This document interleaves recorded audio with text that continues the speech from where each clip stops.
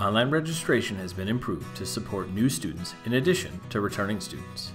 In online registration options, determine which admin will receive email notification when a new family registers and is pending approval. Then distribute the new family registration link unique to each school district.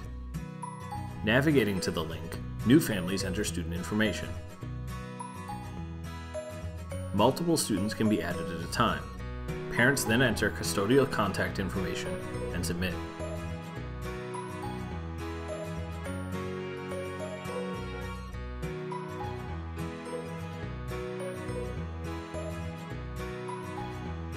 Admin review registration requests on the Process New Families page in online registration. Only after a request is accepted is student information pushed to the system and parents are able to log in. New families, with students at multiple schools, must be approved at the school district level. Accepting or declining a request prompts an email to the requesting parent. On their first login, new parents are prompted to complete the online registration process outlined by the school. The workflow for returning families is built into online registration. Selecting Register New Student, parents enter student information and review family contacts. Admin must approve the request before parents can continue online registration.